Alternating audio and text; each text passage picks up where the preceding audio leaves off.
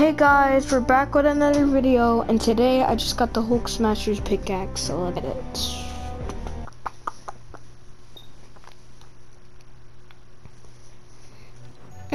Mm-mm. Let's go, bro. It actually, it actually kind of looks fake a little bit. Not gonna lie, it looks like photoshopped a little, but it's not. Okay, let me equip. Yo, let's go, bro. Oh no, I'm lagged out. Hold on.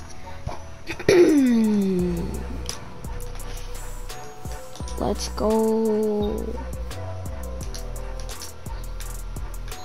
Oh shoot, they have Iron Man. They have Iron, they have Hulk and Iron Man.